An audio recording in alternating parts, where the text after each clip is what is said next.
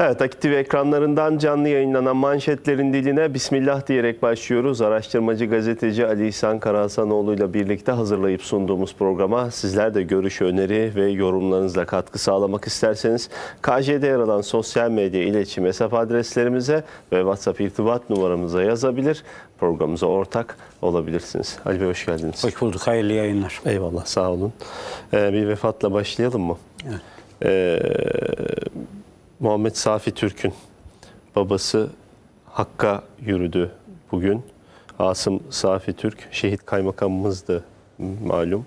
Ee, ve çok çirkin söylemler vardı kendisine ilişkin mecliste. Türkiye Büyük Millet Meclisi'nde bir toplantıyı takip ettiğinde şehit yakınına söven Lütfü Türkkan'ın bir paylaşımı vardı. Şimdi arkadaşlar onu da verirler ekrana.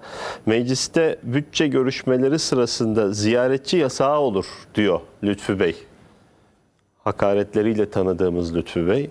Az evvel ziyaretçi sıralarında yer alan bu sarıklı cübbeli arkadaş kimdir acaba deyip bir fotoğraf paylaşıyor. Aynı şeyi Cumhuriyet Gazetesi de paylaşıyor. Şimdi gördüğünüz ekranda.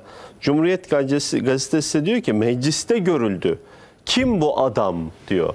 Halbuki dönüp baksalar birinci mecliste zaten Asım Safi Türk gibi onlarca kişinin karesini görecekler. Mustafa Kemal'in hemen yanında el açıp dua eden.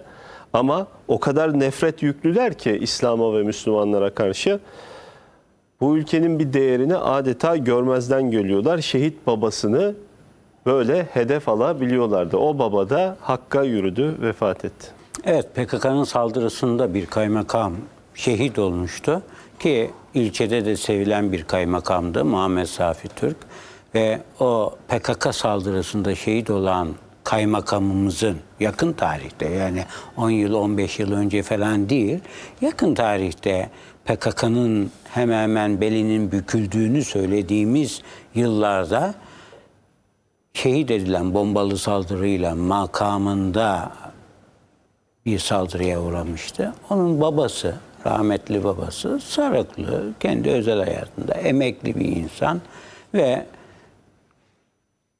oğlu şehit olduktan sonra onu da bir gezdirmek için, TBMM'de dolaştırmak için yakınları TBMM'nin e, bir oturumuna katılmasını sağlamışlar.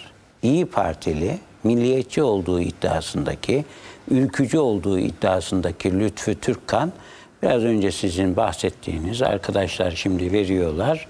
Kim bu adam diye Lütfü Türkkan'ın öncülüğünde başlatılan o algı operasyonuyla bu sarıklıyı kim soktu bu meclise diye meclisinde yani milletvekili koridorlarında falan değil, izleyici bölümünde. izleyici bölümündeki bir insana bu şekilde hakaretlerde bulundular. Sonrasında ortaya çıkınca hakkını da yemeyelim. Lütfü Türkkan üstelik bir de Safi Türk ailesinin ikamet ettiği bölgenin milletvekili. O açıdan da kendi seçmenine oy verir vermez ayrı bir mevzu. Kendi seçmenine de kendi bölgesindeki seçmene de aslında hakaret etmiş oldu. Ve sonrasında işin doğrusu bir kaymakamın, bir şehit kaymakamın babası olduğu ortaya çıkınca Lütfü Tükkan kısmen bir özür beyanında bulunmuştu. Ama ondan bir yıl, iki yıl sonra da bir başka şehit bacısına, bacısına sövdü. Bu sefer de şehit bacısına küfretti. O Lütfü Türkkan hala İyi Parti'de şu an devam ediyor. Sadece grup başkan vekilliğinden aldılar. Devam et sen dediler. E niye? Çünkü para babası bir adam. Ayçiçek yağları, şunlar bunlar. Paraya para demeyen bir adam. Partiye de büyük ihtimalle maddi destekleri olduğu için biz milliyetçilik sevdasıyla yola çıktık, ülkücülük sevdasıyla yola çıktık diyen İyi Parti Meral Akşener bu Lütfü Türkkan'dan vazgeçmiyor. Lütfü Türkkan milliyetçilik, ülkücülük iddiasındayken yaptığı paylaşımlarla en çok Kur'an kursu karşıtlığıyla bildiğimiz Cumhuriyet Gazetesi'nde, onun internet sitesinde haber oluyor. Lütfü Türkkan paylaşıyor, Cumhuriyet hemen alıyor onu. Dindar insanlara biz karşıtlık noktasında, düşmanlık noktasında eksik kaldığımız yerleri Lütfü Türkkan dolduruyor. Hemen Lütfü Türkkan'ın paylaşımlarına bakalım. Oradan eksiklerimizi tamamlayalım diyor. Dolayısıyla bu noktada İyi Partili, milliyetçi ülkücü iddiasındaki İyi Parti ile CHP'nin ki Kur'an kursu karşıtlığı, İmam Hatip karşıtlığını çok iyi biliyoruz bunların. Evet, Kemal Kılıçdaroğlu istediğin kadar ben helalleşme istiyorum desin ama arka plandaki kafalarındaki zihniyet maalesef budur. Evet. Şimdi Allah'tan rahmet diliyorum tabii. Şehit kaymakamın babasına dün itibariyle vefat etmiş. Dün akşam yanılmıyorsam ben de internet sitesinde haberleri görünce e, vakıf oldum. Allah'tan rahmet diliyorum. Amin. Şimdi Akit'in sürmanşetinde dünyanın en büyük sosyal konut hamlesi diyor. 500 bin konut dün Başkan Erdoğan açıkladı. 81 ilde gerçekleştirilecek sosyal konut projesinin detayları belli oldu. 5 yılda tamamlanacak proje sayesinde dar gelirlere uygun şartlarda ev ve arsa sahibi e, olunacak.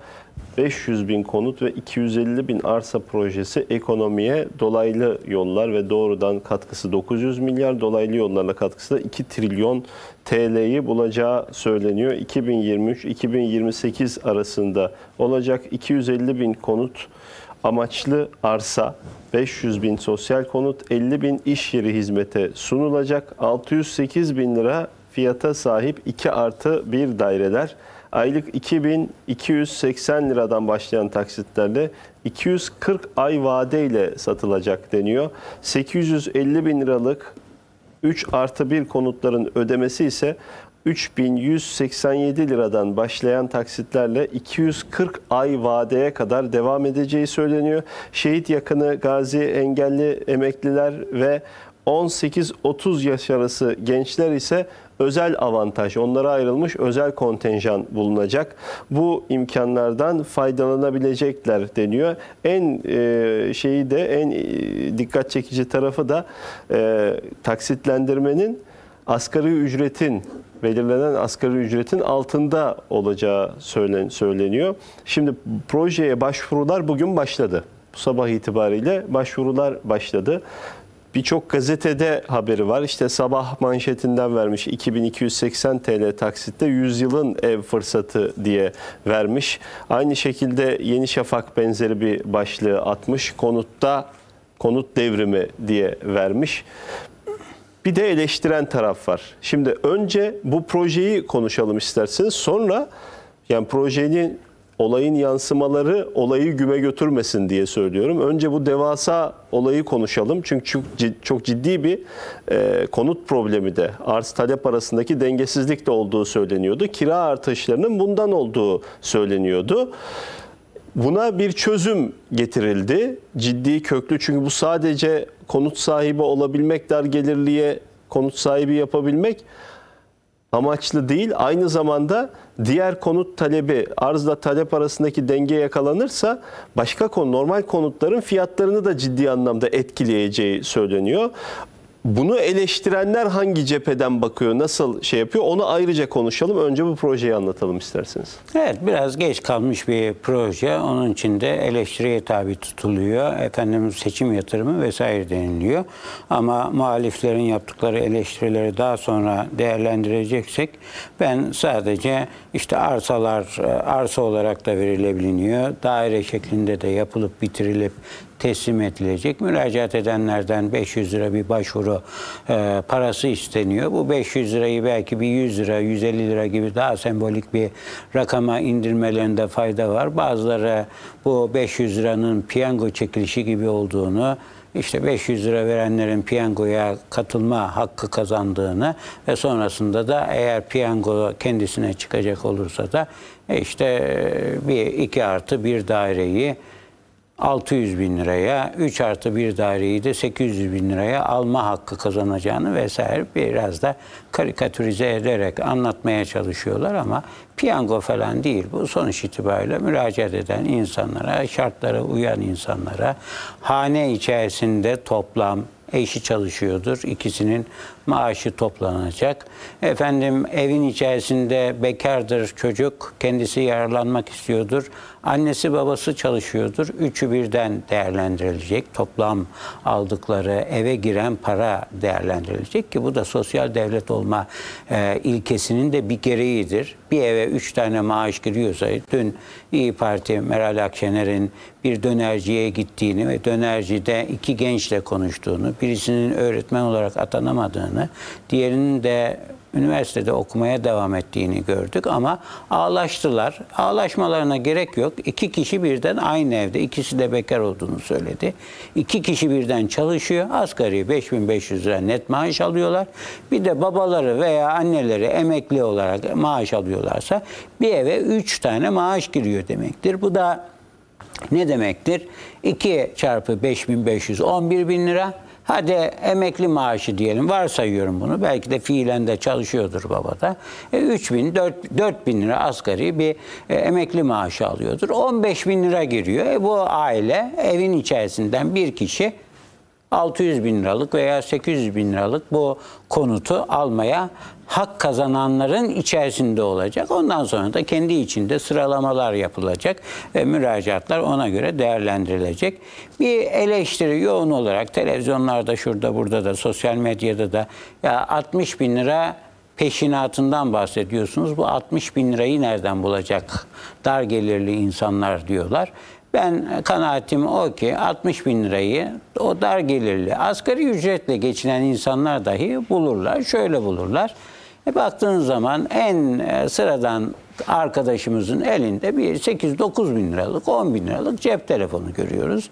Yani bir cep telefonuna halbuki 1500-2000 liralık da bir cep telefonuyla işini görme imkanı varken 7 bin lira, 8 bin lira, 9 bin lira verebilecek şekilde kendisini zorluyorsa bu söylediğimiz şey cep telefonu falan değil. Bakın İslam dininde de en zorunlu ihtiyaçlar arasında ikamet gelir.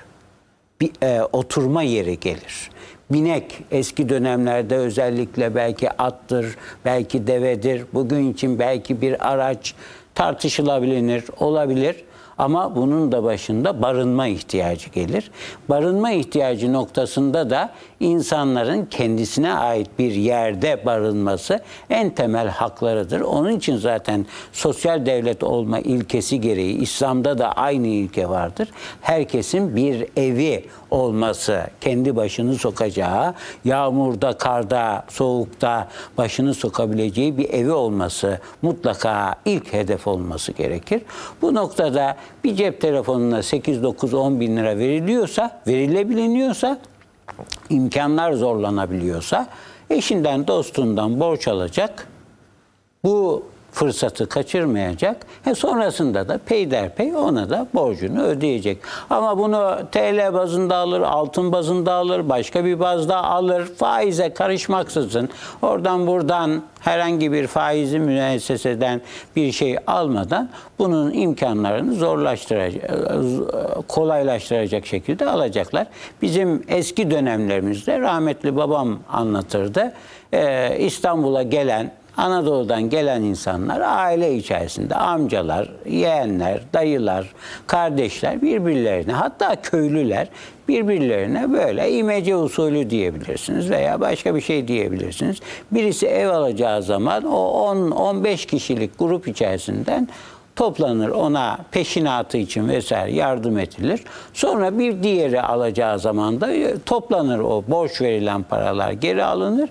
Diğerine yardım edilir. Bu şekilde yardımlaşma e, bizim e, kurumumuzu da belki bu vesileyle hayata geçiririz veya daha diri tutarız.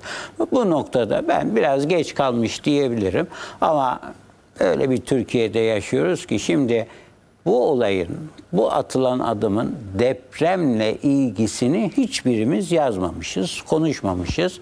Neden bahsediyoruz? 500 bin konuttan bahsediyoruz. 500 bin konuttan bahsediyorsak 500 bin en azından en azından 200-300 bin depreme dayanıksız evin de tasfiye edilmesinden bahsediyoruz. Tabii, bir de bu demektir. boyutu var çünkü işin. E, Dolayısıyla bunun için herkesin el ele verip ya şu işi e, bir şekilde hızlı olarak hayata geçirmek için bizim üzerimize ne düşer diyerekten el atması gerekir. İnşallah öyle bir e, toplum nezdinde ben siyasi partilerden artık pek ümidim kalmadı ama toplum bazında inşallah böyle bir destek gelir.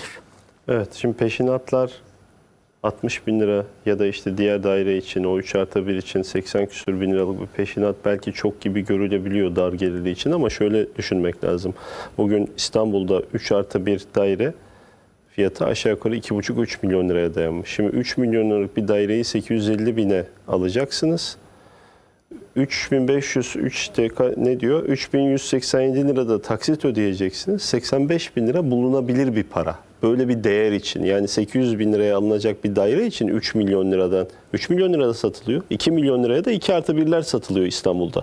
Yani eğer sıfır bir daireye girmeye kalkarsanız belki 1 milyon liraya da bulursunuz, 800 bine de bulursunuz ama hali ortada işte şu anki durumla mukayese edince. O yüzden bu 60 bin lira ya da 80 küsür bin lira bulunabilecek bir para bu karşılığında alınacak değer için elde edilecek değer için bulunabilecek bir para. Yani insanlar e, belki takılarını satacaklar. Yani sonuç itibariyle bir altın takı.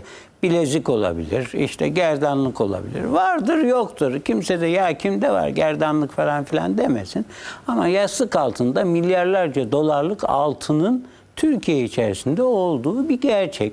Bunlar e, açıklanıyor. Dolayısıyla insanlar biraz kendilerini zorlayacaklar. İlla kendisinin olmayabilir.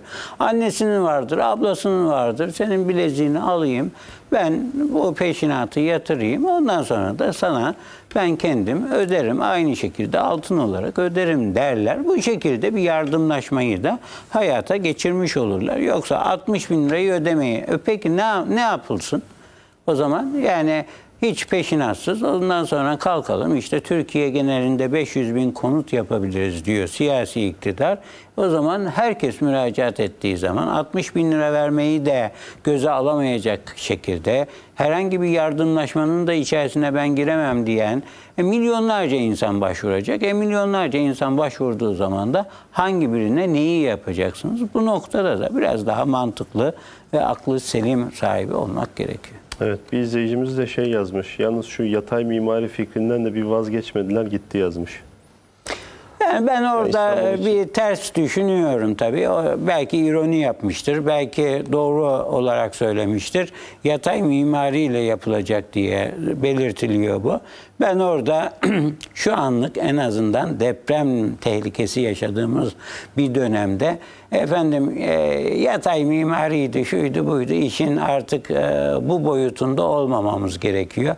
10 katlıysa 10 katlı, 15 katlıysa 15 katlı depreme dayanıklı mümkün olduğu nispette de sınırlı sayıda arsayı kullanarak yeşili de daha fazla bırakarak e, bu şekilde ikamet sorununu Yani siz dikey mimariye- yani e, mümkün olur gökdelen yani 50 katlı yapılmasın tabii ama ya 5 katlı diye söyleniyor Hayır, şimdi. izleyicimiz de ona destek veriyor da o yüzden. Yani Yani. yatay mimari niye İstanbul için yatay mimari diyor? Arsa Tamam, sıkıntısı destek çekilen bir yerde. belki bazıları ironi de yapıyorlar. Yani yatay mimari dedi çünkü Cumhurbaşkanı Tayyip Erdoğan. O gün de ben şahsen eleştirdim. İstanbul'da yatay mimariyi hayata geçirmeniz mümkün değil. E, nitekim de sonrasında siz İstanbul'da belki diyebilirsiniz ki ya İstanbul'u CHP aldı. Onun için de hayata geçiremedi Cumhurbaşkanı ama yani AK Parti de alsa benim gördüğüm kadarıyla İstanbul'da siz 7 kat, 8 kattan aşağıya bina yapılması e, ekonomik değil, verimli değil. Siz bir temeli zaten atıyorsunuz. O temele yüzde 10 daha fazla masraf yaparak 7 kat yerine 8 kat yapabilirsiniz, 9 kat yapabilirsiniz. Dolayısıyla orada yüzde 10 maliyeti artırırken temelden öbür taraftan bir daire, iki daire daha fazla yaptığınız zaman ki onu şahıslar alsın da demiyorum. Tabii ki devlet kendisinin bir hakkı varsa ben buranın yolunu daha geniş yapıyorum kardeşim. Bak yeşil daha fazla bırakacaksınız ama sizin arsanızın metrekaresi 9 kata yetmiyor. Dolayısıyla siz buraya bir katkıda bulunun, yola katkıda bulunun, yeşile, parka, okula, camiye bir katkıda bulunun diye onun düzenlemesini yapabilir. Ama sınırlı sayıda ve metrekaresi belli, toplam alanı belli bir İstanbul'da siz yatay mimari yapacağım, işte 4 katla, 5 katla sınırlandıracağım dediğiniz zaman ben burada sosyal konut olduğu için belki teknik bazı sıkıntılar da olabilir. Hızlı bir şekilde yapılması gerekiyor. Belki öyle 10 katlı binaların yapılması takibi zor olabilir. Bunun üzerinde uzun uzun düşünüldüğü belli oluyor. İşte şehit yakınlarına şu kontenjanı veriyoruz, şu kadar müracaatı onlara tahsis ettik. Bence deniliyor. asıl sorun bu projede değil ama İstanbul'da genelde bir sıkıntı var. Ne sıkıntısı var? Mesela ben en somut örneğini belediyenin ismini vermeyeyim, ilçenin ismini vermeyeyim. 5 kat imar izni var. Kentsel dönüşüme girecek, bina yıkılması gerekti, eski bina. Yine 5 kat izin veriyor. Şimdi müteahhite verin diyorlar. Müteahhit de diyor ki "Da- sizden buradan her daire başına 700 bin lira alırım diyor. 700 bin lira alırım daire başına. Adam da diyor ki bir tanesi benim bunu verecek param yok duruyor iş. Ama oraya diyor ki 7 kat izin verselerdi iki katı müteahhite ben çıksaydım sizin 5 katınızda sizden 200'er bin lira alır 5 katınızı yapardım diyor. İstanbul'da birçok noktada böyle bir sıkıntı çekiliyor aslında. Yani o çok sınırlı bildiğim kadarıyla. Benim görüştüğüm, bana hukukçu olduğum için de bazen müracaat eden okurlar da oluyor. Değişik kesimlerden insanlar da şikayetlerini dile getiriyorlar. Genelde birebir veriliyor da daha çok böyle e, bire birden ziyade bire iki isteyenler oluyor. Ya benim yerim çok güzel bir yer. Dolayısıyla ben çocuğumu da evlendireceğim. Kendime oturacağı bir yer olması lazım. Bir de çocuğumu evlendireceğim. Bir tane de ona vermeleri lazım diye talepte bulunuluyor. Ama dediğiniz şekilde de belki e, Yüzde beş, yüzde on da o şekilde şikayetler vardır. E onları da yani yedi kat olmasın da altı kat olsun. 700 bin lira olmasın da adama 300 bin liralık bir fatura çıkarsınlar. O da şunu düşünsün. Ya binam dairem yenileniyor. Ben daha refah içerisinde konforlu, daha düzgün bir evde oturacağım. İşte şu an her yıl badana, boya badana yaptığım halde, her yıl 10 bin lira masraf yaptığım halde gene sağlıklı bir yerde oturmuyorum ama yeni bir bina olduğu zaman en azından 2 yıl 3 yıl boyadan badanadan kurtarırım. Şundan kurtarırım. Bunların hesaplarını ince ince yapmaları lazım. Herkesin yapması lazım. Ama maalesef hep bir eleştiri, hep bir eleştiri olmadı, yapılamadı, yapılmadı şeklinde bir eleştiriyle karşı karşıya kalıyoruz. Evet o eleştirilerden yapıcı olmayan, yıkıcı eleştiriler, yapıcı olan eleştirilere sözümüz yok. Ama yıkıcı olan eleştirileri masaya yatıralım. Bakın bir gün bu ülkede ciddi bir konut sıkıntısı var. Üç günde bir, beş günde bir eğer sebze meyve fiyatları aşağı indiyse konuta el atıyorlar. Aa kiralar şu oldu bu oldu diyorlar. Kiralardan fırsat bulduklarında yurtlar ne alemde diyorlar. Ülke betona gömüldü diyorlar en kötü ihtimalle. Şimdi bakın bunu söyleyen gazetelerden biri bir gün sandığın içine 500 bin ev sığdı diyor. Çok çirkin bir ifadeyle de Başkan Erdoğan'ın da karikatürünü yapmışlar. Diktatörlük olduğu söylenen ülkede yapmışlar bunu bir de. Projede yapılacak konut tasarımlarına da ben sızdım mı çizdim mi çizdim diye yazmışlar. Bunun da zaman ayarlı sandık amaçlı olduğunu söylüyor. Cumhuriyet Gazetesi yurttaşın kiradan kurtarılması lafta kaldı. Peki nasıl lafta kaldı? Yani hani lafta kaldı. Proje yapılmadı demek olur herhalde. Para yandaşa gidecek. Nasıl? Konut mu teslim edilmeyecek? Bu evleri kim nasıl alacak? Tek tek şart madde madde. Şimdi Cumhuriyet'te Alev e, Coşkun ve arkadaşları bunu algılayamıyorlarsa bugün Akit'in sürmanşetine baksınlar. Akit sürmanşetinde tek tek o evleri kim nasıl alacak madde madde gösteriyor. Söylüyor. Ama Cumhuriyet'teki arkadaşlar bunu algılayamamışlar. Niye? Hala kafa Samsun'da. Vahdettin'in talimatıyla mı gitti yoksa gitmedi mi? Siz de bugün değinmişsiniz. Atatürk'ün bundan haberi var mı? Yani sonuç itibariyle o konuda Vahdettin konusunda Meral Akşener de İzmir Büyükşehir Belediye Başkanı'na ya böyle sözler de söylenmemesi gerekirdi noktasına gelmek zorunda kaldı. Ama Cumhuriyet Gazetesi hala o yayınlarını devam ettiriyor. Bu evleri kim nasıl alacak diye soranlara ben şimdi diyorum ki bugün itibariyle e, 13 Eylül'de miyiz? 13 Eylül itibariyle 14. 14 Eylül itibariyle biz tarihe notumuzu düşelim. Bir 10 gün sonra müracaat sayılarına falan bakılsın. Kim nasıl alacağını Cumhuriyet Gazetesi görsün. Ha, ondan sonra kendisi bir ders çıkartırsa ya biz Türkiye'yi tanımıyoruz. Biz Amerika kafasıyla manşet atıyoruz. Amerika'da bir üçkağıtçılık yapılıyorsa o üçkağıtçılığı yapan adam da gelip Büyükelçinin yanında bir tane fotoğraf çektirdiyse hemen biz Büyükelçi de dolandırıcılığın içinde diyerekten manşet atacak kadar bu ülkeye hainiz, bu ülkeye düşmanız diye kendi suçlarını kabul etsinler. Uydurma olaylar anlatmıyorum. Amerika'daki elçimiz orada bir şirkete e, danışmanlık vesaire yaparken bir kişi gelmiş aynı zamanda da bir resmi protokol sırasında Büyükelçinin yanında bir fotoğraf çektirmiş. O fotoğraf çektiren kişi bir dolandırıcılığa imza attı diye Büyükelçi de dolandırıcılığın içinde diye ahlaksızca başlıklar atıyorlar. E şimdi siz Amerika'nın sesi olma iddiasıyla Türkiye'de yayın yaparsanız Türkiye'de böyle bir sosyal konut atılımı yapıldığı zaman bunu kim alacak diye şaşırırsınız tabii. Çünkü sizin kafanız neye çalışır? İstanbul Barosu'nun eski başkanı Turgut Kazan'ın avukatlığını yaptığı batık bankacı, hortumcu Erol Aksoy'a çalışır. Erol Aksoy ne yapmış? Türkiye'de İktisat Bankası'nı batırmış. Paris'te iki tane daire almış. Lüksemburg'da şirket almış. Avukatlığını kim yapıyor?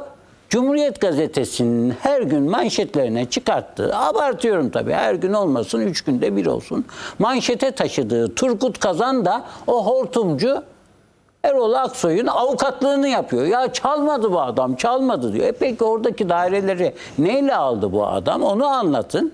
Veyahut da bu bankanın içi boşalırken sadece bu banka gerçekten kar zarar ortaktır şeklindeki bir riskten dolayı mı zarar etti? Ya almış almış adam götürmüş Paris'te daire satın almış. Onlara da çoluğunun çocuğunun üzerine yapmış. Aklı sıra kaçıracak temesefe yakalamış. Şimdi Fransa'dan o paraları tahsil ediyor daireleri sattırarak. E şimdi Amerikancı bir kafa, batılı bir kafa Yunan işgal eder. Yunan'ın işgalini bile Vahdettin'in işgali, sarayın işgali gibi göstermeye çalışan kafa olmaz diyor bu evleri kim nasıl alacak diye manşet atıyor.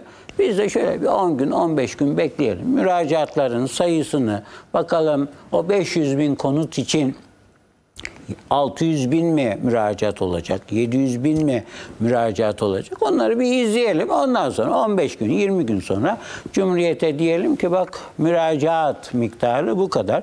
Demek ki sizin attığınız manşet doğru değilmiş. Türkiye'yi tanıyan insanların attığı bir manşet değilmiş diyelim. Bir gün gazetesi de kent yağması diyor. Siz gösterdiniz biraz önce.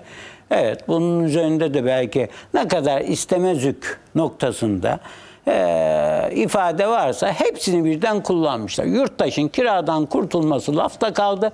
Para yandaşa gidecek. Ya dur bakalım ya dur.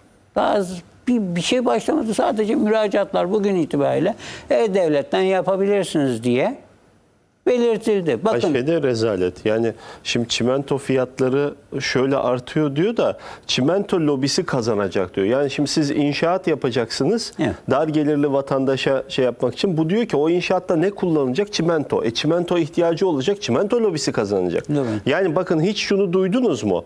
Dediler ki metrobüs yolunu asfaltlı asfaltı kaldıracağız, beton dökeceğiz dediler. Beton döküyorlar şimdi bazı bölümlerin. Hiçbir gazetede bunların havuz medyası olarak nitelendirildiği, yandaş olarak nitelendirildiği hiçbir gazetede çimento lobisi kazanacak diye bir haber gördünüz mü? İşte bunlar yapıyorlar. Yani bir gün gelir çimento lobisi, çimentocular iflas ediyor derler. Bir gün gelir işler açılır, bu sefer çimento lobisi kazanacak derler. E iyi güzel de kardeşim şu an itibariyle böyle bir ihtiyacımız varsa ne yapalım? Çimento lobisi kazanmasın diyerekten biz çadırda mı oturalım? Dar gelirli insanlar Dört kişilik bir aile çocuğunu evlendirmek Emlakçı istediği lobisi zaman- kazansın. ne, ne yapalım yani E, çimento lobisi kazanmasın, demir lobisi kazanmasın diye bunlara çadırlar yapalım. Çadırlarda mı kalsınlar? Söyleyin çözümünüz varsa o çözümünüzü söyleyin ama onların çözümü zaten kökten çözümdür. Ta Vehbi Koç'un yıllar önce 50 yıl önce iki çocuktan fazla yapmayın. E iki anne baba öldüğü zaman ya o iki çocuktan da birisi erken vefat ederse ne olsun nüfus azalsın. Böylece nüfus azalınca da 80 milyon yerine 25 milyon olursak Türkiye'nin imkanlarını 25 milyona dağıtırız. 25 milyona dağıttığımız zaman da sanki aynı miktar üretim olacakmış gibi de bir e, kafalarında da bir yanlış düşünce var, ön yargı var. Ondan sonra Türkiye'nin kazanımlarına 20 milyon. Hatta onlar isteseler sadece boğazın iki tarafında yalısı olanlar Türkiye'nin tamamına sahip olsun. Diğerlerinin hepsini e, sağlık yardımından bile yararlandırmayın, ölsünler, gitsinler diyebilecek kadar da işi büyütebilirler. Dolayısıyla bu kafa sakat bir kafadır, hasta bir kafadır. Evet bir gün gazetesinden arkadaşlar verdiler. Ne diyorlar spotlarında? Seçim yatırımı. E, Tamam diyebilirsiniz. Bunu e, eleştirecek de bir şeyim yok. Şöyle bakarım ben olaya. Ya 5 yılda bir seçim yapılıyor. Hemen 5 yılın birinci yılında bir imkan tanındı kamu bankalarına yüzde 0.8'e falan kadar inecek şekilde bu siyasi iktidar kredileri biraz ucuzlatın ev almak isteyen insanlara diye bir çağrıda bulundu. O kamu bankaları da gerçekten bundan 3 yıl önce 4 yıl önce o çağrıya kulak verdi ve birçok vatandaşımız inşaat sektöründeki daralmayı da dikkate alarak orada da daireler elde kalmıştı. Şu kadar bin daire boş duruyor diyerekten algı yapıyordu Bir Gün Gazetesi, Cumhuriyet Gazetesi. Siyasi iktidar orada kamu bankalarını taşın eline soktu. Taşı elini taşın altına koydurdu ve ucuz krediyle insanlara ev alma imkanını sağlamıştı. O birinci yıldaydı. Şimdi de dördüncü yıldayız. Beşinci yılın tam bitmesine bir gün kala, bir ay kala böyle bir çalışma olsa di- diyebilirim ki ben de seçim yatırımıdır bu. Ama bir yıl kala böyle bir atılım yapılıyor ki bir yıl içerisinde de o inşaatların neredeyse yarıya yakınının tamamlandığını, inşaatın tümüyle değil.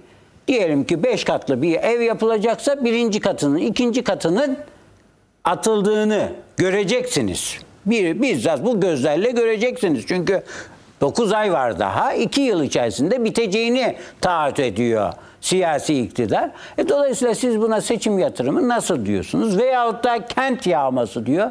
Ne yapıldı? Yani İstanbul'un şimdi çok güzel bir parkı vardı. O parkı biz kaldıralım, iptal edelim. Suriye'den insanları getirelim buraya yerle Türk oğlu Türk vatandaşlarına ha, onu söyleyelim. Bazı sosyal medyada e, söylemler var. Suriyeliler yararlanacak bundan da. Araplardan bize fırsat kalır mı ki vesaire diyenler var. Türkiye Cumhuriyeti vatandaşı olmak birinci şart. Dolayısıyla ikinci şart da bir yıl boyunca bulunduğunuz ilde ikamet, yararlanmak istediğiniz, konut almak istediğiniz ilde oturuyor olmanız lazım vesaire vesaire. Bu şartlar getirilmiş. Dolayısıyla öyle Araplara, Suriyelilere falan bu imkan tanındığı şeklinde ahlaksızca yayın yapanlar da iftira ediyorlar. Kent yağması değil, bu ülkenin çocukları bu ülkenin içerisinde ev sahibi olacaklar. Bunu kent yağması olarak değerlendirirsen sen Boğaz'daki yalılara bir bak derim ben bir gün gazetesine. Gerçekten emekçilerden yanaysalar, gerçekten Boğaz'da şaraplarını yudumlarken Boğaz'a bakan, gemileri izleyen, ondan sonra da ahkam kesenler, kesenlerin avukatı değil de emekçilerin avukatıysa bir gün gazetesi bu imkana destek vermeleri lazım. Ve inşaat rantı diyor. Yani başka bir imkan var. Ya bu insanları sosyal konut çerçevesinde inşaat şeklinde değil de ne bileyim prefabrik olur, baş, bambaşka şeyler olur. Uzayda ikamet sorunları çözülebilir. Ya e, uzayda, ayda hazır evler varmış. Oralarda gidip günübirlik gidersin, gelirsin uzaya, aya.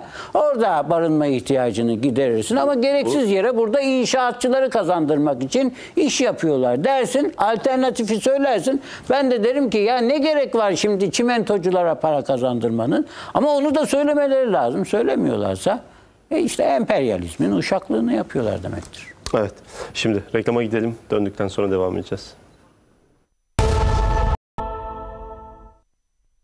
Evet geri geldik. Kaldığımız yerden devam ediyoruz. Gündem farklı bir gündeme geçeceğiz ama bir izleyicimizin mesajı var. Diyor ki bu konut işini CHP önceden haber almadı demek ki.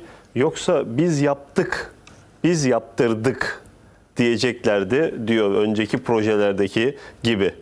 Bunda cesaret edemediler çünkü büyük bir müjdeyi 13 Eylül'de verecek, verecek, verecek diye daha 3 gün, 4 gün öncesinden bizler de gazetede de olsun, internet sitesinde de olsun duyurusunu yaptık. Hatta öncesinde Akdeniz'de bir doğal gaz keşfi mi falan diyerekten de bir e, söylenti çıktı. Hatta karşı grup CHP çizgisindeki kişiler aman keşif falan açıklamayın her keşif açıklandığında dolar daha da yükseliyor falan diyerek de, de kendilerince alay etmeye de başladılar. Ama şimdi böyle geniş kapsamlı bir sosyal konut projesinde Kemal Kılıçdaroğlu e, etrafındaki adamları toparlayıp da ne yapayım ne yapayım diye düşünürken 13 Eylül geldi ve Cumhurbaşkanı Tayyip Erdoğan da konunun ayrıntılarını açıklamış oldu. Onun için Kemal Kılıçdaroğlu da işte elektrikte şunu yapacağız, ondan sonra borçları ödemeyin. Şimdi de büyük ihtimalle bu konut projesine dahil olmayın. Biz gelince kent yağmasını tam yapacağız.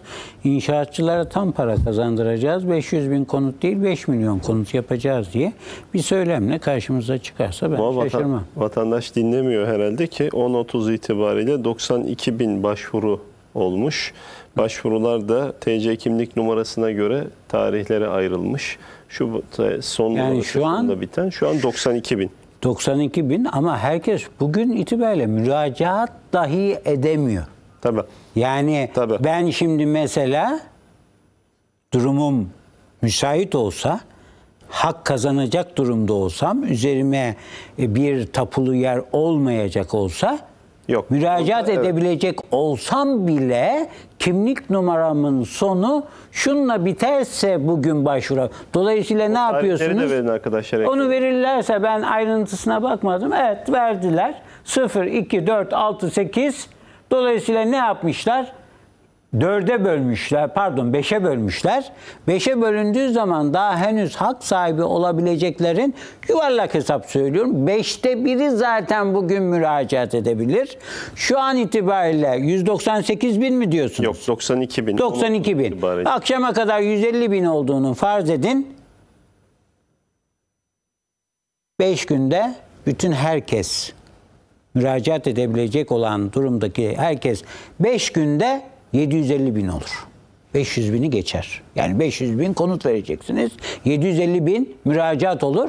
Bir de bu bir günde siz varsayın. Yani herkese açık olsaydı bugün sistem falan müsait olsaydı şu an 92 bin değil 5 ile çarpın. Çünkü sadece sıfırla sonu sıfırla biten vatandaşlar kimlik numarasının sonu sıfırla biten vatandaşlar şu an müracaat edebiliyor. 2 ile biten 4, 6, 8 ile bitenler bugün müracaat edemiyorlar. Dolayısıyla 5'te biri zaten bugün müracaat edebilir. O da 92 bin ise şu saat itibariyle daha 10.30 itibariyle siz bundan rahat 2 milyonluk bir müracaatı düşünün. E şimdi Cumhuriyet Gazetesi 10 gün 15 gün de beklemeye demek ki gerek kalmadan cevabını almış Tamam, oldu. bu evleri kim alacak? İşte Evet. başvuran an itibariyle 92 bin kişiden şu an itibariyle yani şimdi bitirseler Evet. Bu evleri kim alacak, nasıl alacak? Kara kara düşünen Cumhuriyete kapak olsun. Otursunlar, baksınlar. O 92 bin kişi akşama kadar 150 bin olacak. Sonra yarın 300 bin olacak. Öbürsü gün 450 bin olacak. Böyle böyle gidecek. Bunlara bir baksın. Demek ki alabilecek durumda insanlar varmış ama bizim kafamız hep Amerika'ya çalıştığı için biz Türk halkını tanımıyormuşuz, bilmiyormuşuz. AK Parti iktidarını bilmiyormuşuz diye kafalarını duvara vurmaya başlarlar. Belki bu vesileyle senin e, planlamanı da bozmak istemem ama Soner Yalçın'ın bir yazısı var Sözcü gazetesinde. Belki onu e, hatırlatmamız gerekebilir. Sen bana e, bir zahmet Sözcü gazetesini verirsen Evet. Soner Yalçın Tarkan İzmir konseri üzerinden bir yazı kalemi almış ve eskiden de hatırlatıyor. Ya Cumhuriyet mitinglerinde diyor şu kadar milyon kişi vardı. Şimdi Tarkan 2 milyon kişiyi topladı İzmir'de. Bu da AK Parti'ye bir ders olsun diye mesajlar verenler var. Görülmemiş bir kalabalık vesaire diye anlatımlarda bulunanlar var. Tamam bu iş bitti AK Parti gidici diyenler var. Tayyip Erdoğan gidici, gidici diyenler var. Onlara yönelik olarak Soner Yalçın arşivi de karıştırmış. Demiş ki ya Cumhuriyet mitinglerinde Çağlayan'da 4 milyon toplamıştık. Maltepe'de 2 milyon, 3 milyon toplamıştık. İzmir'de o tarihte şu kadar milyon toplamıştık.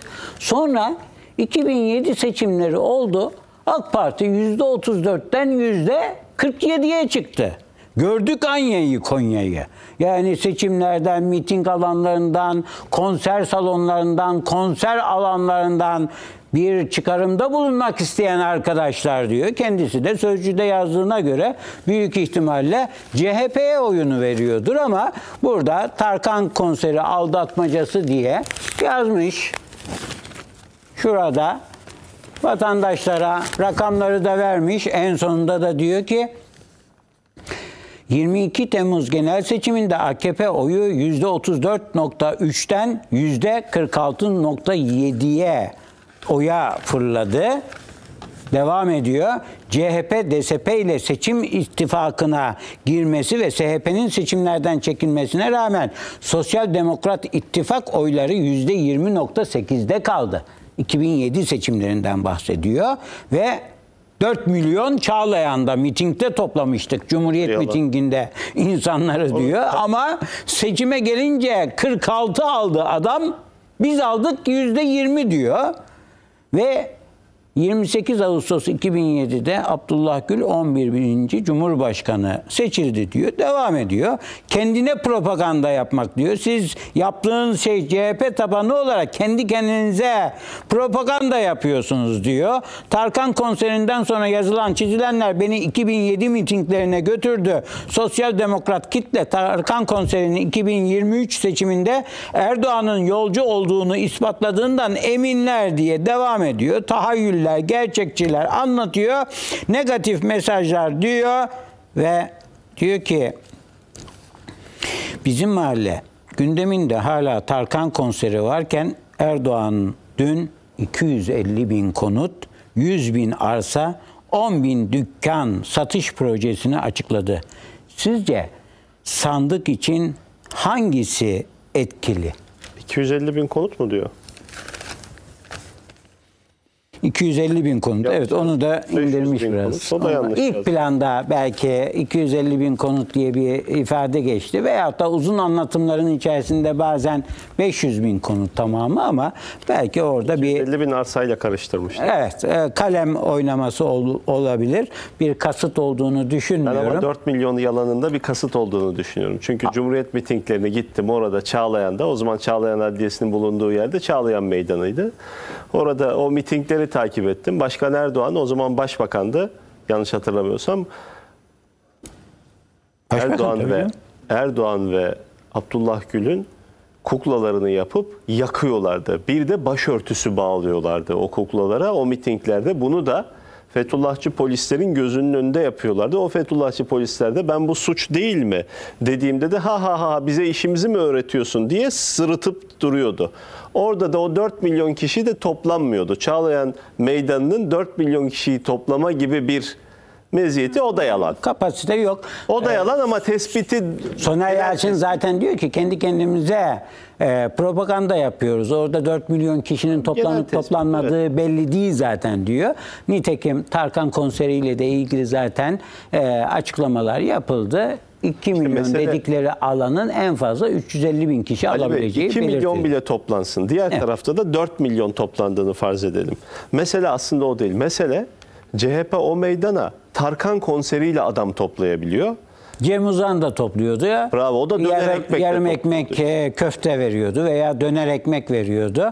Milyonları İmar Bank'ın kasasından boşaltıp döner ekmekle vatandaşa konserler verdiriyordu ve o şekliyle miting alanlarını dolduruyordu. Orada Ama asıl bence sorulması gereken soru şu. İBB şey İBB diyorum. Ee, İBB de öyle. Aynı şekilde İzmir Büyükşehir Belediyesi deprem esnasında binası yıkıl, yıkılma tehlikesi taşıyor. Binadan ayrıldı. O binadan ayrıldı. Bütçemiz yok diye metro projesini durdurdu. Bütçe verilmiyor. Ek ödenek verilmiyor. Bakın ek ödenek verilmiyor diyen İzmir Büyükşehir Belediyesi herhalde o platform bedavaya kurulmadı oraya. Tarkan oraya bedavaya gelmedi.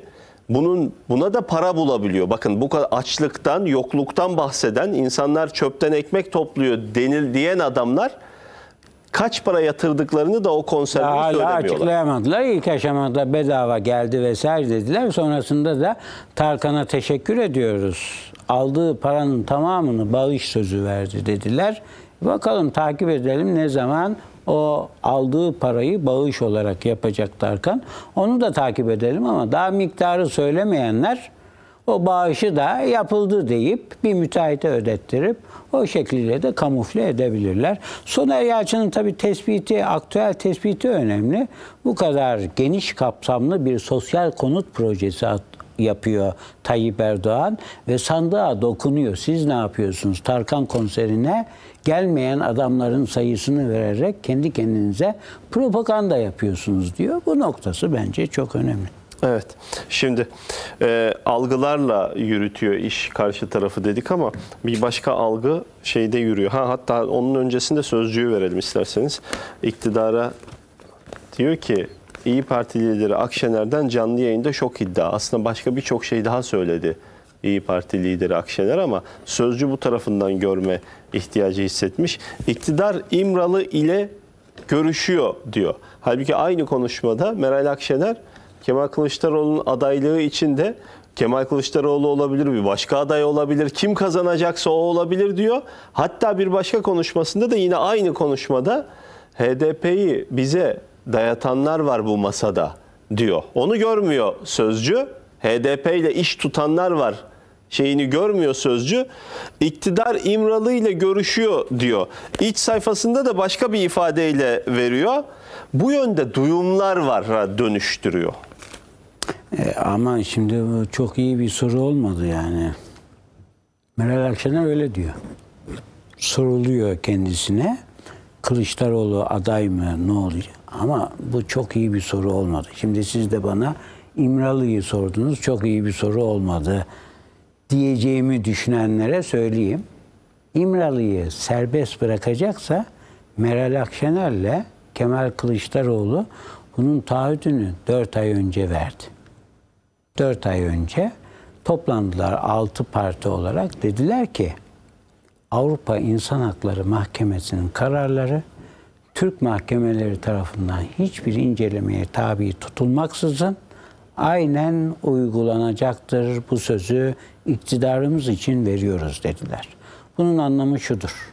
2025 yılında Avrupa İnsan Hakları Mahkemesi terörist başı Apo'yu uzun süreli cezaevinde kalma gerekçesine dayalı olarak tahliyesine karar verecek. Meral Akşener eğer seçimi kazanırsa, Kemal Kılıçdaroğlu seçimi kazanırsa çıkartacakları kanun sebebiyle otomatik olarak mahkemeler Avrupa İnsan Hakları Mahkemesi'nin kararını uygulamak zorundayız. Avrupa İnsan Hakları Mahkemesi tahliye dedi. Bizim bunu inceleme yetkimiz yok çünkü kanun böyle diyecekler. Bugün öyle değil.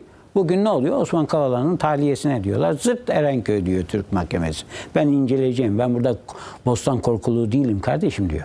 Biz Türk mahkemesiyiz. Biz sizden talimat alamayız. He, yanlış yaptığımız bir şeyi söylüyorsanız bakarız, inceleriz, tekrar gözden geçiririz. Gerçekten yanlış yapıyorsak biz kendimiz karar veririz. Ama Avrupa İnsan Hakları Mahkemesi'nin kararını Türkiye'de otomatik uygulayamayız, uygulamayız biz diyor.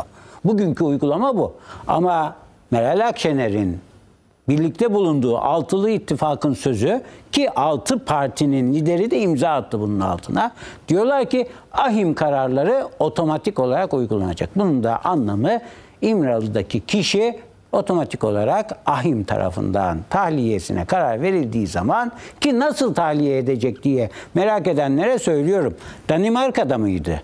70 kişiyi öldüren kişi daha şunun şurasında 8 yıl önce, 9 yıl önce şimdi efendim uzun süreli tutuklu kaldım. Mahkum olarak cezaevinde uzun süre kaldım. 8 yıl. 8 yılda çok uzun süre kaldım diyor. Mahkeme de inceliyor. Diyor ki ya değil daha çok uzun süre olmamış diyor. Büyük ihtimalle denilen şey şu. 15 yıl falan toparlanınca tahliye olacak diyorlar. 70 kişiyi öldürmüş.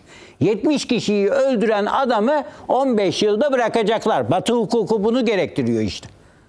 Ama Avrupa İnsan Hakları Mahkemesi de APO'nun daha önceden yaptığı müracaatta şu anlık uzun süreli bir cezaevinde kalma söz konusu değil.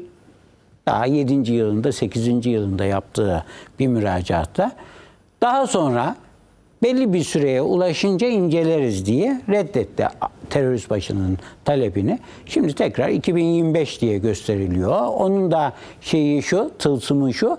25 yıl olarak Avrupa İnsan Hakları Mahkemesi'nin somut bir kararı yok ama böyle iz düşümlerinden yola çıkan hukukçuların söyledikleri 25 yılın üzerindeki cezaevinde kalmayı ne suç işlemiş olursa olsun kişi ne yaparsa yapsın hangi suçu işlemiş olursa olsun 25 yılın üzerindeki cezaevinde kalmayı uzun süreli insan hakkına aykırı, insan haklarına aykırı bir tutum olarak değerlendirme eğilimi var.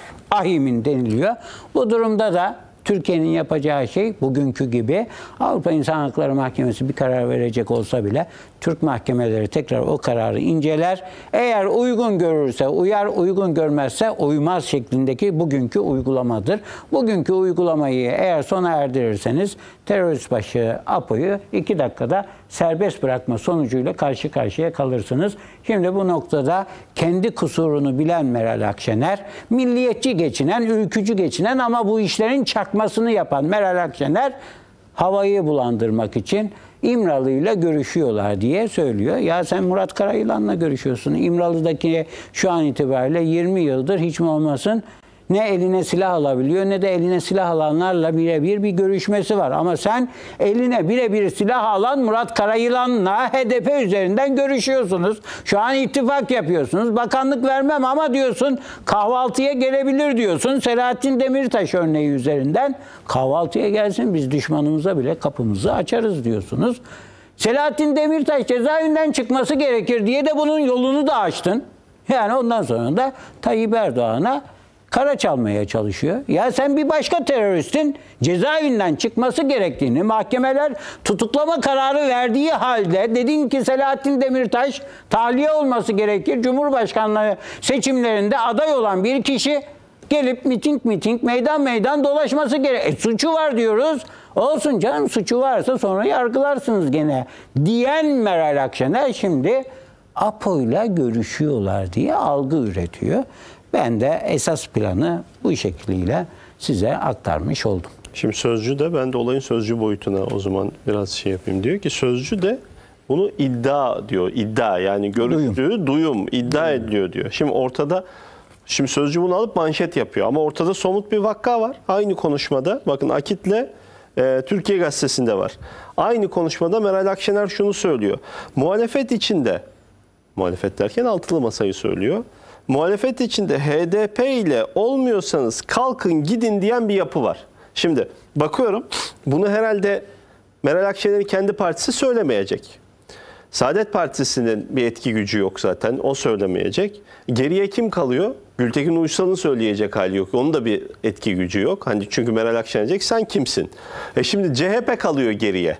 Bakanlık da vermeyi vaat ediyor CHP. Aslında şunu demek istiyor. Diyor ki HDP ile olmuyorsanız kalkın gidin diyen bir CHP var demek istiyor şeyde. Sözcüde bu yok. Ama İmralı. İmralı var. Şimdi yani HDP ile iş tutun diyen adamlar var iddia olarak ama açık bir ifade, açık beyan CHP bize bunu diyor diyor ama o ifade yok. Peki HDP şey ne yapıyor? CHP ne yapıyor bu hususla ilgili? Bakın ikinci bir e, numara da orada dönüyor. Hangisindeydi? Milliyet Milliyet'teydi herhalde. O da Milliyet'te de bakın bakanlık vermeyi vaat ediyorlar. Kendi partilerinin. Üstelik bir vekili de değil. Daha önce de Dursun Çiçek vaat ediyordu. Yine onların milletvekili. Olabilir HDP'ye bakanlık verilebilir diyordu. Bakın Milliyet gazetesinde haber. Gizli ortak iddiası soruluyor Sayın Kılıçdaroğlu'na. Diyor ki zaman zaman sorarlar altında üstünde başka parti gizli bir parti var mı diye soruyorlar. Bunların tamamı safsatadan ibarettir. Masa altında gizli bir parti yok, başka bir parti yok. Evet ama sonuçta görüyoruz. Bakanlık teklif ediliyor. Niye bir başka e, partiye bakanlık teklif edilmiyor? Örneğin Büyük Birlik Partisi'ne teklif etsinler. CHP'li vekiller veya MHP'li e, vekillere teklif etsinler diye desinler ki biz iktidara gelirsek bir tane, iki tane, üç tane de MHP'li vekillere de bakanlık verebiliriz. Veya şu an hiç gündemde olmayan başka partiler söz konusu olabilir. Muharrem İnce'nin partisi olabilir. Bunları niye gündeme getirmiyorlar da tam da o 6 artı 1 dediğimiz artı 1'deki HDP için bunu dile getiriyorlar. İki yıl önce Dursun Çiçek hem de emekli bir albay olmasına rağmen ben işte dağlarda bilmem şeylerle mücadele ettim. Edebiyatı yapanlar bir tane iki tane bakanlık verilebilir canım HDP'ye diye. Önce bir şöyle bir nabız yokladı. Arkasından bir baktık bu sefer de Gürsel Tekin yani CHP'de çok daha önemli görevler üstlenmiş olan Gürsel Tekin aynı iddiayla karşımıza çıktı. Evet, bu durumda da Kemal Kılıçdaroğlu istediği kadar safsataydı bilmem neydi desin. Toplumun nabzını hazırlamaya çalışıyorlar. Bir bakıyorlar, tartıyorlar. Ne kadar tepki verilecek? İyi Parti şimdi oturuyor, kalkıyor, dua ediyor. Diyor ki bir tek Yozgat İl Başkanı posta koydu. Onu da bir şekilde tersledik. E işte dedik ki daha önceden biz onu görevden almıştık.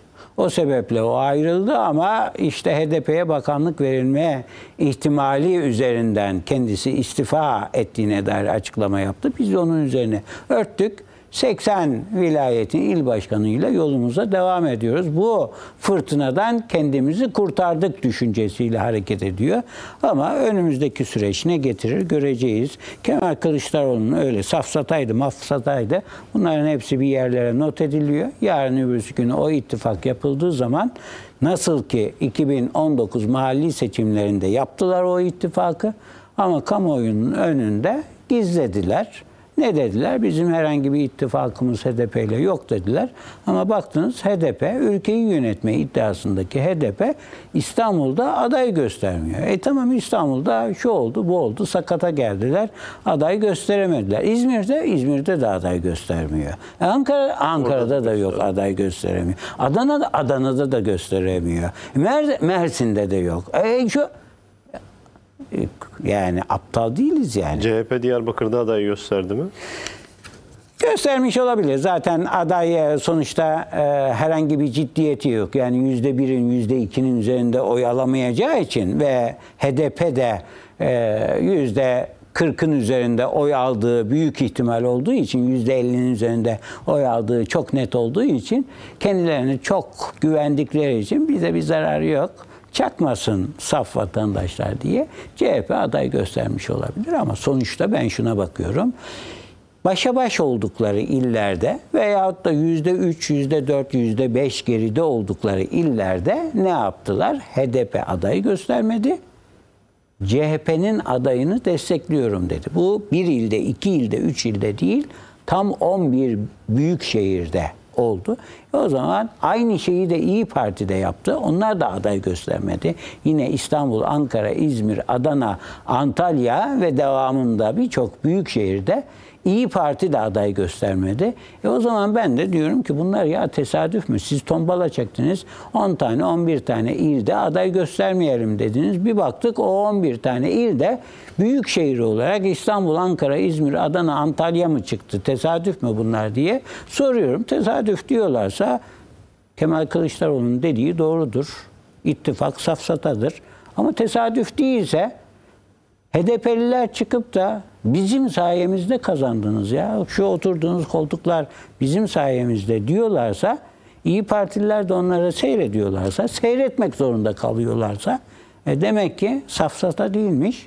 Adamlar doğruyu söylüyor. Bizim sayemizde oturuyorsunuz. Ama zaten Meral Akşener diyor bize işte dayatıyorlar diyor. HDP'yi dayatıyorlar diyor. O da o da o noktada biraz daha yumuşatıyor ama dayatılandan çok daha vahim bir durum var. Yapılmış bitmiş bir olay var. 2019 mahalli seçimlerini sürekli tekrarlamamız lazım. Yoksa biz bir varsayımdan bir ihtimalden bahsediyoruz demektir 2023 seçimleri için.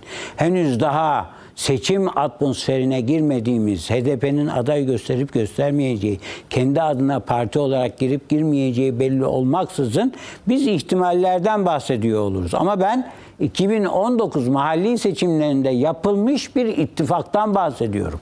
Aday göstermeyen HDP, aday göstermeyen İyi Parti, ölümüne mücadele verip CHP'li adayı kazandıracağız diyen İyi Parti, HDP adaylarını daha doğrusu yöneticilerini görüyoruz.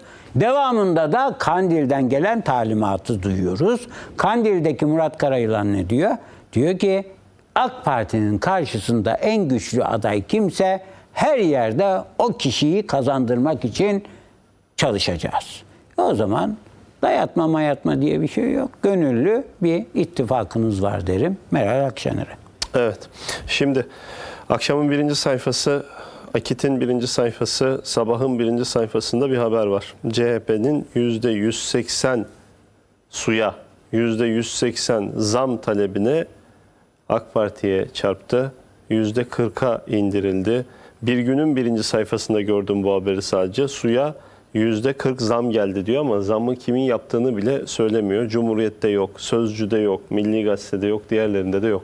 Şimdi burada e, önemli olan şey şu. Enerji vesaire şuraya buraya zam geldiği zaman, merkezi yönetim yaptığı zaman, benzine, mazota zam yapıldığı zaman, suya zam yapılmasın şeklinde bir talepte bulunulması doğru olmayabilir. Ama eğer Ekrem İmamoğlu... Orantılı da olması gerekmez mi zammın biraz? İşte Ekrem İmamoğlu benim açımdan esas önemli olan şey şu. Ekrem İmamoğlu seçilmeden önce şunu söyledi.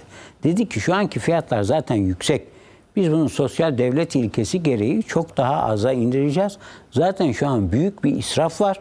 O büyük israfı zaten önlediğimiz zaman suyu ucuzlatacak hale geleceğiz dedi. Ama sonrasında baktığımız zaman işte başka ürünlere ne zam geliyorsa hemen hemen aynısı ona da geliyor. E peki AK Parti olsaydı yüzde 40 yerine yüzde 60 mı yapacak? Yüzde 180 talebi başka hiçbir ürüne gelmiyor yani. Türkiye'de. Yani şimdi doğalgazı bu ülkede üretmiyorsunuz, petrolü bu ülkede üretmiyorsunuz.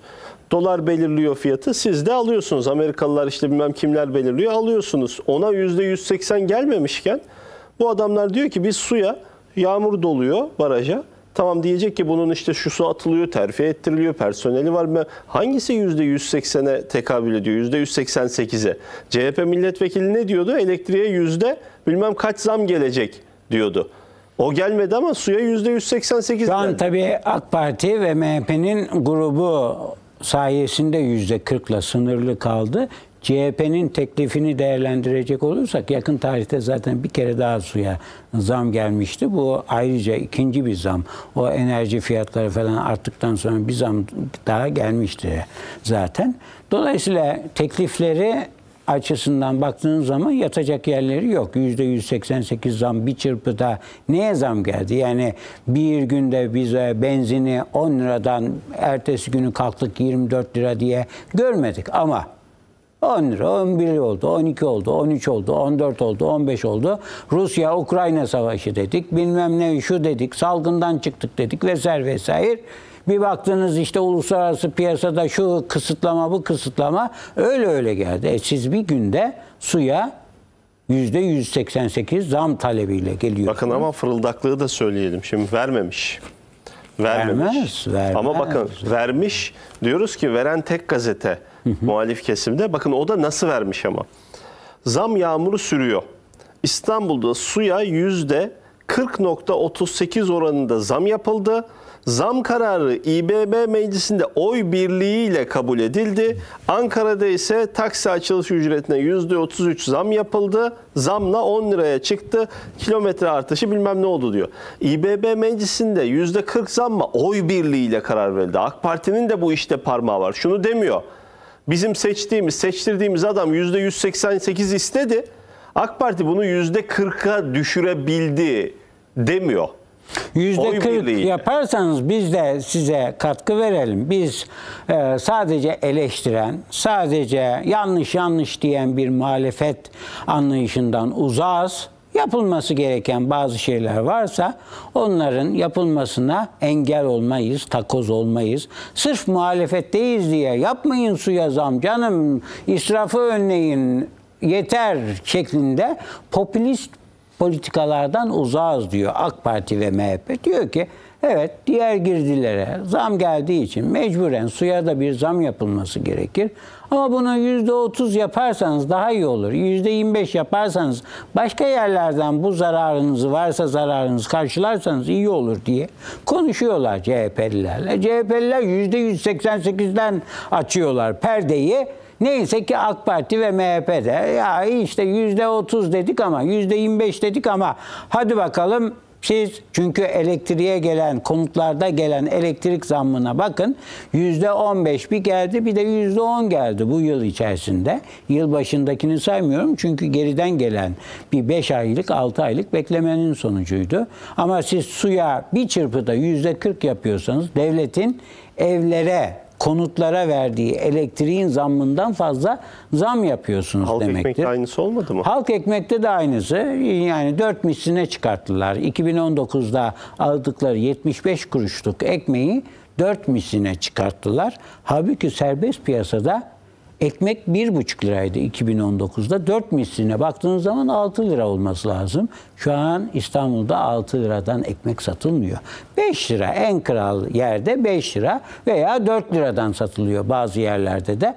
Ama halk ekmeğin fiyatını bile o noktaya çıkartan bir CHP zihniyetinden bahsediyoruz.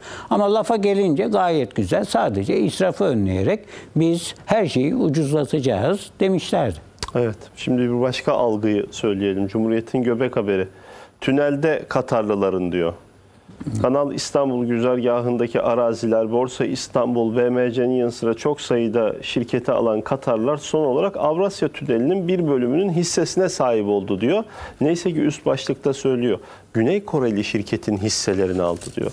Yani şimdi bugüne kadar Koreliler ortakmış, onlarda sorun yok. Koreliler olsun, Amerikalılar olsun, Onlar dost. Kore, İtalyan olsun. Kore'ye gittik savaş bile yaptık biz. Ama, Dolayısıyla ama Katar'la alamamalı. Ya, yani NATO NATO'ya karşılar güya, Amerika'ya karşılar güya. Amerika'nın doğrultusunda gittik Kore'de savaştık diyerek de işte Güney Koreli olunca sorun yok. Ona da sorun var da.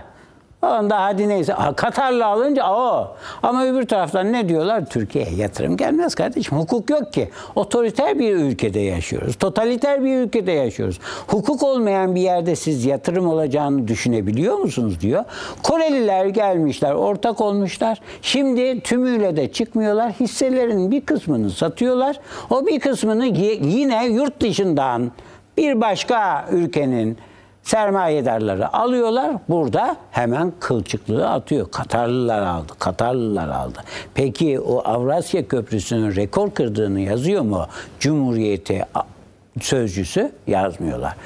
8 Eylül itibariyle Avrasya Köprüsü tam da taahhüt edilen miktara milim milim yaklaşmış bir şekilde. 68 bin yanılmıyorsam garanti sayısı var. 67 bin araç geçmiş. Ve dolayısıyla hani diyordular ya 15 yılın sonunda da bu garantiyi tutturamazsınız diyorlardı. Ve O da- 8 Eylül itibariyle. o da Akit'in birinci sayfasında. Evet, Akit'in birinci sayfasında var. geçiş rekoru diyor. İç sayfada da geniş şekilde var.